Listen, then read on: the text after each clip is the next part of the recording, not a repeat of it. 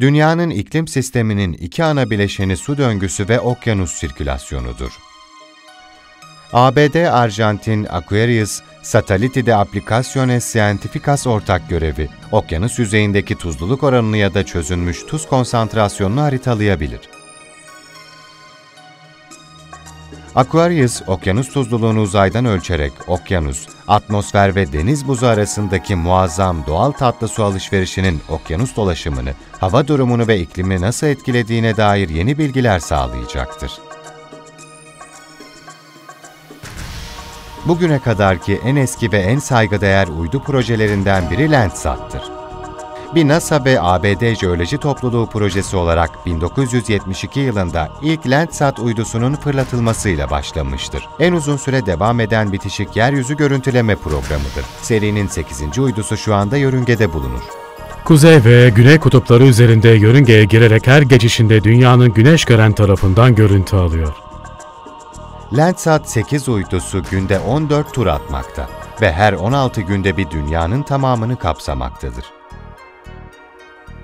Landsat veri sürekliliği görevinden elde edilen veriler, bir Landsat uydusundan şimdiye kadar toplanan en iyi veriler olacaktır. Ve artan nüfusla birlikte arazi kullanımımız insanlık tarihinde eşi benzeri görülmemiş bir hızla değişiyor. Bu değişiklikleri yönetmek ve bunlarla başa çıkabilmek için yaşadığımız dünya yüzeyinde neler olup bittiğini anlamamızı sağlayacak gözlemlere ve bilgilere ihtiyacımız var. Dünya yüzeyinden 40 yıl boyunca toplanan veriler, kalite, detay ve kapsam açısından eşsiz bir tarihi arşiv oluşturmuştur. Bu tüm Landsat uydularının Amerika Birleşik Devletleri'nde tutulan tüm verilerini içermektedir ve LCDN verileri de bu arşivin bir parçasıdır. Landsat programı dünya yüzeyinin en uzun küresel kaydını herkese ücretsiz olarak sunmaktadır ve gezegenimizin görsel olarak çarpıcı ve bilimsel olarak değerli görüntülerini sunmaya devam edecektir. Dünyanın yüzeyi ağırlıklı olarak sudan oluşsa da, okyanusların topografyasını ölçmek başlı başına bir zorluktur. NASA ve Fransa'daki Centre National Etudes Spatiales ortak çalışması olan TOPEX Poseidon uydusu tarafından başlatılan ve Jason 1 uydusu tarafından devam ettirilen son görevleri Jason 2, dünyanın ortak okyanusunun uzun vadeli bir araştırmasını sağlamaya devam ediyor. Deniz yüzeyinin yüksekliğindeki değişiklikleri ölçer. Bunlar okyanus akıntılarındaki değişimlerin yanı sıra deniz seviyesindeki yükselmeyi, her ikisi de küresel iklim değişikliğinin kritik parçaları, anlamak için kullanılır. Verileri dünya çapında hava, iklim ve okyanus tahminlerini iyileştirmek için kullanılmaktadır. Okyanuslarda yapılan bir diğer ölçüm de rüzgarın hızı ve yönüdür. Seawinds dağılım ölçer, yüzeye yakın rüzgarı ölçen özel bir mikrodalga radarıdır. Dağılım ölçer, dünya okyanusları üzerinde su yüzeyinden 10 metre yükseklikte rüzgarın hızını ve yönünü tahmin eder. Cihaz okyanus, kara ve buz üzerinde 1800 kilometre genişliğinde kesintisiz bir bantta veri toplar. Yaklaşık 400 bin ölçüm yapar ve bir günde dünya yüzeyinin %90'ını kapsar.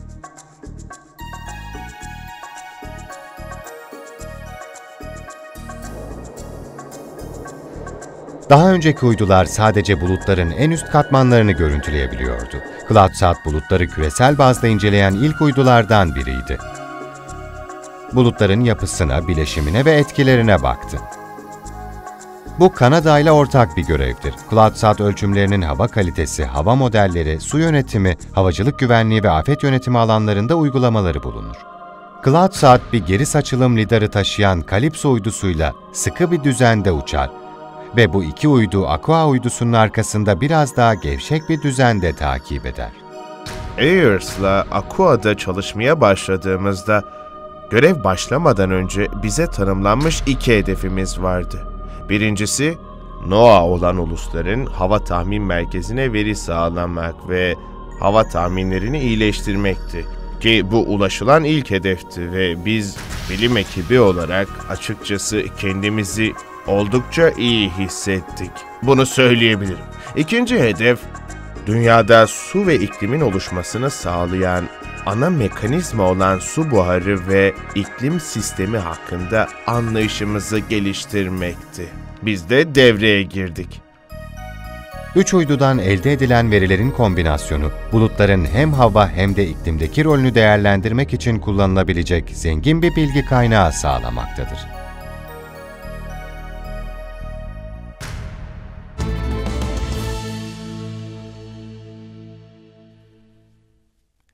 Avrupa Uzay Ajansı'nın Dünya Kaşifleri programı kapsamında çok sayıda yüksek teknoloji uydusu küresel iklimi anlamamızda rol oynuyor. Ayrıca bu arada yenilikçi teknolojiyle harika sonuçlar elde ettiğimiz üç görev başlattık. SMOS toprak nemi ve tuzluluk uydusu, karadaki toprak nemini ve okyanuslardaki tuzluluğu gözlemledi.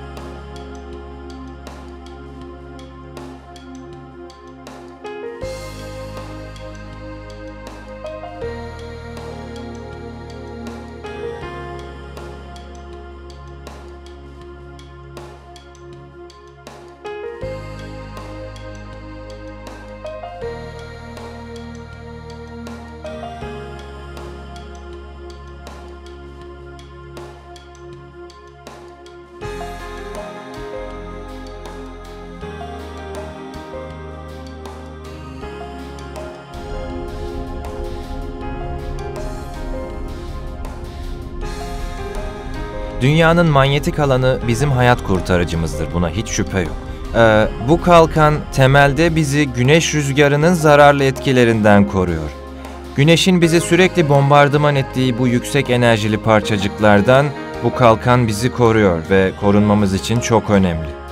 Dünyanın ana manyetik alanı zaman içinde değişiyor ve son 200 yılda diyelim ki %10 ila 15 oranında zayıflıyor. Ve aslında gezegenin çekirdeğinde neler olup bittiğini bu görevle bulmaya çalışıyoruz.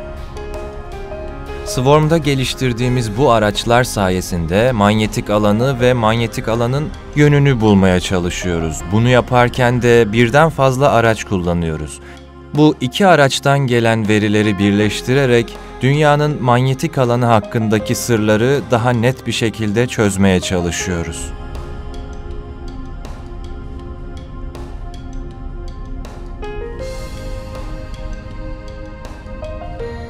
İSA şimdi Kopernikus programının bir parçası olarak Sentinels adı verilen yeni bir görev ailesi geliştiriyor.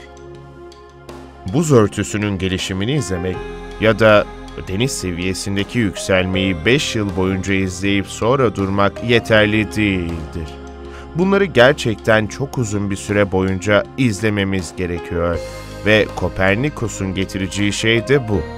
Çevremizin sürekli izlenmesi için uzun vadeli bir çerçeve getirecektir. Sentinel-1A, hava koşullarından bağımsız olarak görüntü sağlamak için gelişmiş bir radar kullanarak kara ve okyanusları tarayacak iki uydu görevinin ilkidir. Kopernikus bugüne kadarki en iddialı dünya gözlem programıdır. Avrupa Uzay Ajansı, Kopernikus programının hedefleriyle ilgilenecek karayı, deniz çevresini ve e, ayrıca atmosferdeki iklim değişikliğini izleyecek, güvenlik ve acil durumlara hızlı bir şekilde yanıt verecek 6 Sentinel ailesini bir araya getiriyor. Toplamda 6 sentinel görevi olacak ve her bir uydu çifti özel gözlemlere ayrılmış olacak. Her sentinelin özel bir görevi vardır. Örneğin ele almak gerekirse Sentinel 1 acil durumlar için kullanılmakta. Sentinel 2 toprağın izlenmesinde, Sentinel 3 ve Sentinel 6 ise özel olarak okyanus ve suların izlenmesine odaklanmıştır. Sentinel 7 ve Sentinel 5 ise birlikte çalışarak atmosferin izlenmesini sağlamaktadır. Uluslararası Uzay İstasyonu aynı zamanda çeşitli iklim sensörlerine de ev sahipliği yapmaktadır.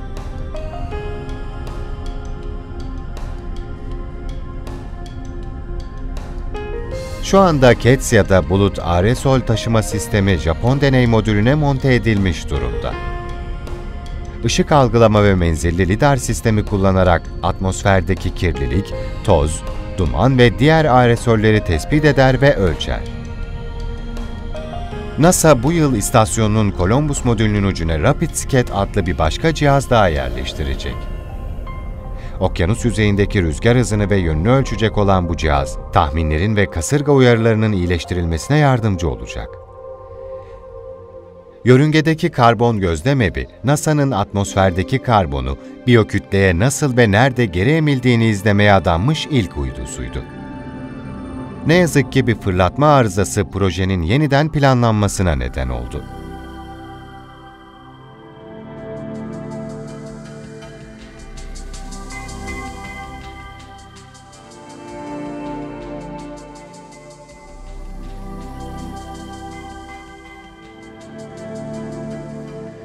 Atmosferik dinamik misyonu AELUS, yüksek güçlü UV lazerleriyle rüzgar hızı, hava nemi ve toz partiküllerini ölçerek atmosferik dinamikleri daha iyi anlamamızı sağlayacaktır. EarthCare, dünyanın ısıyı nasıl yansıttığını ve hapsettiğini inceleyecek. Biyokütle dünyanın ormanlarının durumunu inceleyecek. NASA'nın Clario uydusu gelen güneş ışımını ve dünya enerji bütçesini ölçecek. SMAP, Soil Moisture Active Pasif, karasal su, karbon ve enerji döngülerini daha iyi anlamak için dünyanın toprak nemini ve donma çözülme durumunu ölçmek ve haritalamak üzere tasarlanmış bir dünya uydu görevidir. Şu anda yörüngede bulunan ve yakın gelecekte yörüngeye yerleştirilmesi planlanan uydular, bulutların, bitki örtüsünün ve diğer yüzey özelliklerinin altına bakabilecek, su tuzluluğunu, sıcaklığı ve enerji akışlarını izleyebilecek, okyanus akıntılarını ve buzullardaki değişimi haritalayabilecektir. Tüm bu veriler iklim değişikliğini daha iyi anlamamıza yardımcı olurken, pratik anlamda da sel ve kuraklık izleme, kasırga ve siklon uyarıları, su mevcudiyetindeki değişikliklerin anlaşılması, gıda üretimi ve iklim değişikliğinin diğer toplumsal etkilerine yardımcı olmaktır.